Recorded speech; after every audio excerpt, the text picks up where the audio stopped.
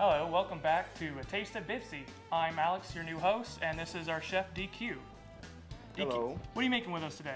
Today I'll be making muffalettas. Ooh, that sounds savory. It is savory. First of all, we're gonna start with your basic French bread. This is a small French bread, just as an individual serving. Well, you can get probably about two or three servings out of it, really, if you slice it up for like, you know, a buffet or like For like a mini muffalettas? little party. You know, party style. Super Bowl's coming up, man. Oh, yeah. Super Bowl's coming up. We gotta get ready.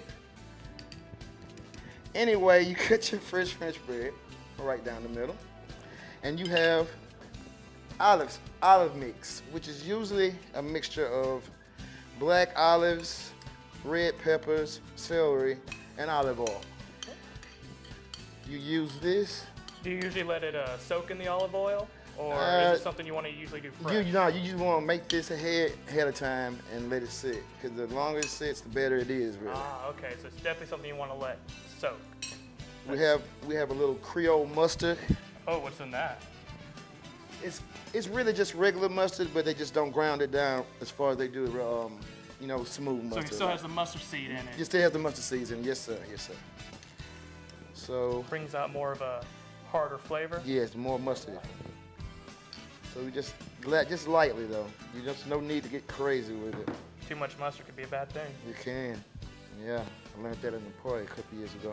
I learned that when I go to Whataburger. oh my goodness, yes. okay, and after we have them coated, see, I like to put. People have different ways of making their muffaletta. Some people put the olive olive mix right on, right on the bread. Some people put them between their meats. Today, I'm going to put my olive loaf between the meats. And the meats we'll be using today is capicola, which is a form of ham. Ooh. We have That, uh, do you know where that comes from? What part of the pig? uh, I think that comes from the tenderloin. I'm not ah, sure, okay. but I'm a cook, not a butcher.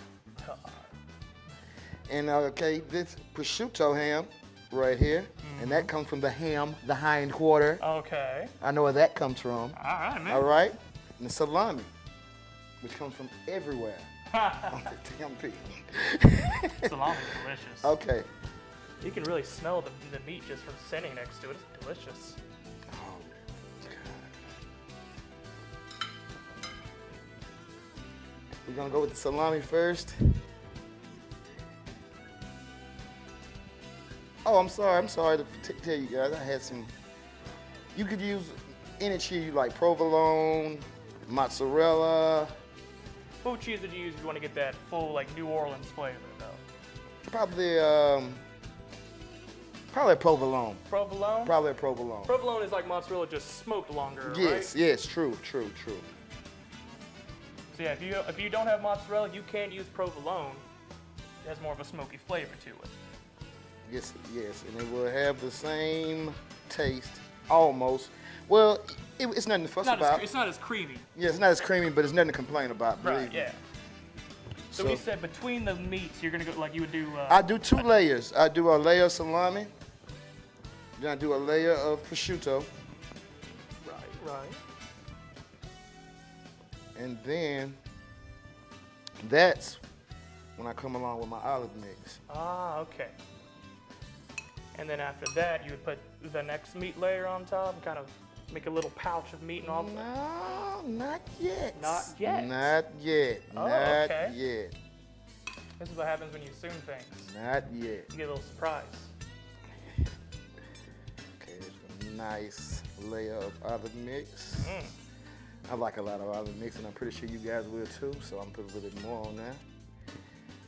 And that's when I come with my cheese, sir. Put the cheese. So that way, when you throw it in the oven, it's going to Yes, melt yes, right, now. yes. And my last layer of meat comes to the opposite side of the bread. I got you.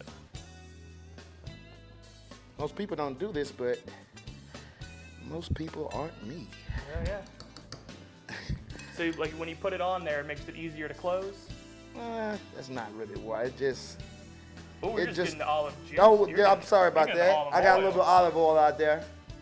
That always adds a little flavor when you drizzle it over the other side before you load it up with the meat. When you got a lot of olives, but you still you, you just want that oil right there. Yeah, yeah, yeah. Okay. And it basically has the flavor of everything, you know, the peppers and everything melted into it. And then we come along with the meat terrorisons, capicola. And after we do this, we just pop it in the oven for about five minutes. And, And we have a nice muffaletta, which I'll get to right now. all right, he's gonna throw this in the oven, and we'll be right back with a taste of Bipsy. My name is Jessica Ingram. I go to Bossier Parish Community College and I'm a fine art photography major. I decided to go to Bipsy because they have the mass communication program that I wanted and also it's very affordable.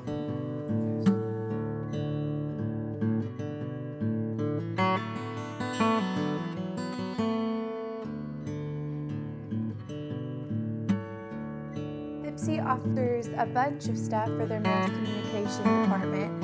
I chose photography because it is my favorite art form and I want to make a career out of it.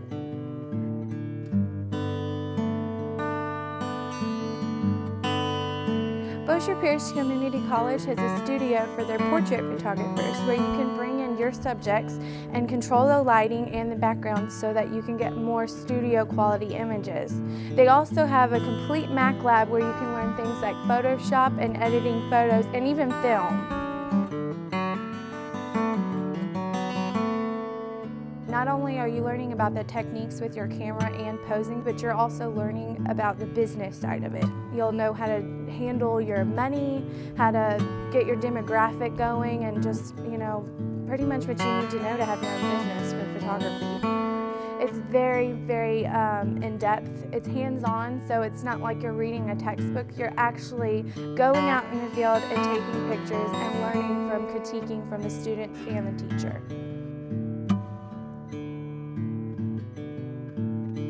Favorite part is that we get to learn through peer and professor critique so that you know what, if anything, you did wrong and how to improve your photography and hone your skills.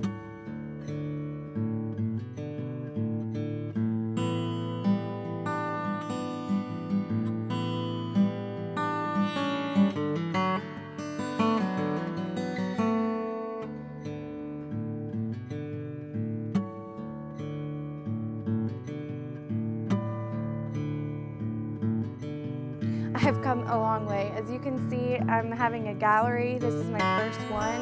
This wouldn't have been possible without Bipsy. I've learned so many techniques and how to pose people, how to just be into the business of it all.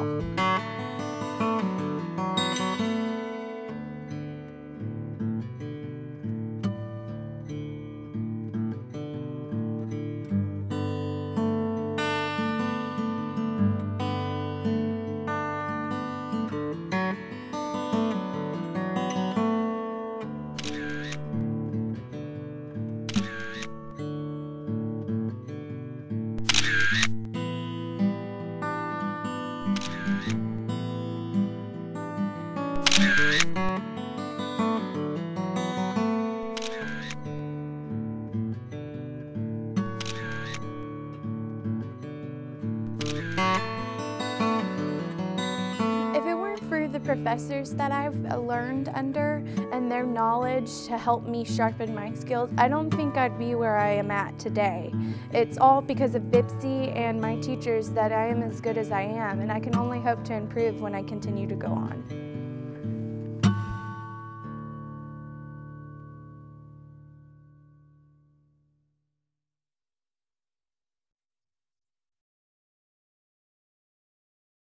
All right, we're back with a taste of Bipsy. Chef DQ has just pulled his muffaletta out of the oven.